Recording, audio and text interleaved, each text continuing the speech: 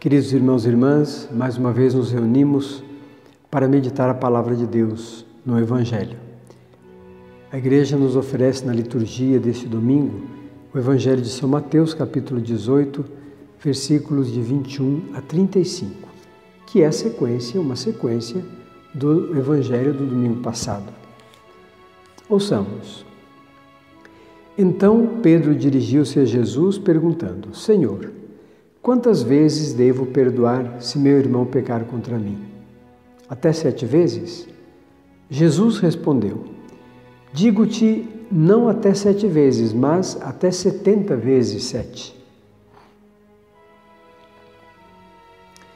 E acrescentou: O reino dos céus é comparável a um rei que resolveu ajustar contas com seus servos. Quando começou o ajuste, trouxeram-lhe um que lhe devia dez mil talentos. Como o servo não tivesse com o que pagar, o senhor mandou que fosse vendido como escravo, junto com a mulher, os filhos e tudo o que possuía, para pagar a dívida. O servo, porém, prostrou-se diante dele, pedindo: Tem paciência comigo e tudo te pagarei. Diante disso, o Senhor teve compaixão, soltou o servo e perdoou-lhe a dívida. Ao sair dali, aquele servo encontrou um dos seus companheiros que lhe devia cem denários. Ele o agarrou e começou a sufocá-lo, dizendo: Paga o que me deves. O companheiro se atirou ao chão e suplicava: Tem paciência comigo e eu te pagarei. Mas o servo não quis saber, saiu e mandou lançá-lo na prisão até que pagasse o que devia. Quando viram o que havia acontecido, os outros servos ficaram muito sentidos. Procuraram o Senhor e lhe contaram tudo o que acontecera. Então o Senhor mandou chamar aquele servo e lhe disse: Servo malvado, eu te perdoei toda aquela dívida, porque me suplicaste. Não devias tu também ter misericórdia para com teu companheiro, como eu fui misericordioso para contigo? E o Senhor se irritou e mandou entregar aquele servo aos carrascos, até que pagasse toda a dívida. Assim vos tratará meu Pai celeste, se cada um não perdoar de coração ao seu irmão.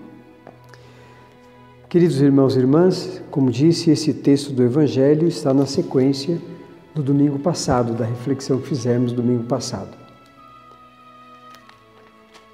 Nós temos que nos perdoar mutuamente. Este é o sinal dos que vivem na comunidade, dos que vivem entre irmãos. Se nós somos irmãos verdadeiramente, nós devemos nos perdoar mutuamente. E Pedro aqui pergunta a Jesus: Senhor, quantas vezes devo perdoar se meu irmão pecar contra mim? E ele coloca um número, até sete vezes, porque na Bíblia o número sete significa muito, muitas vezes, um número grande. Jesus respondeu: Digo-te não até sete vezes, mas até 70 vezes sete vezes. Então, vejam, é muito mais. O perdão, a gente poderia dizer que é uma atitude do nosso coração, da nossa vida, que deve atingir o infinito. Ou seja, não adianta perdoarmos no sentido de deixarmos de lado as coisas. Isso nem é perdão. Significa assumir aquilo que o irmão está propondo, está pedindo perdão, a exemplo daquele senhor, daquele patrão, daquele homem que foi pedir contas do seu servo e, ouvindo o seu reclamo, ouvindo o seu lamento, disse: Tá bem, eu te perdoo toda a tua dívida, não precisa me pagar mais. Perdoou toda a dívida. Então, esse perdão é um perdão, se nós pudermos dizer assim, na medida de Deus. Deus perdoa e não um pedacinho, mas perdoa tudo. Mas veja o exemplo que o evangelista nos dá neste trecho. Aquele mesmo homem que foi perdoado e não precisou mais ficar preocupado com a dívida que tinha, nem precisou pagar, aquele mesmo homem sufoca um outro seu irmão que lhe devia muito menos.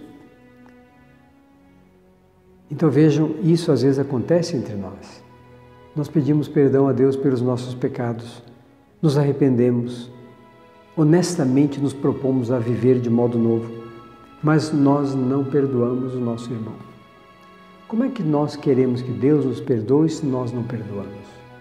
Como é que queremos que Deus deixe de lado a nossa dívida se nós não nem ouvimos o nosso irmão que nos deve alguma coisa. E é sempre muito menos do que aquilo que nós devemos a Deus. Aprendamos, queridos irmãos e irmãs, nestes textos do Evangelho que ouvimos domingo passado e neste domingo, a viver em comunidade e a perdoarmos-nos mutuamente para que o nosso testemunho de vida em comunidade seja verdadeiro, seja um testemunho rico, forte, um testemunho que convença as pessoas daquilo que nós acreditamos, da fé que nós temos.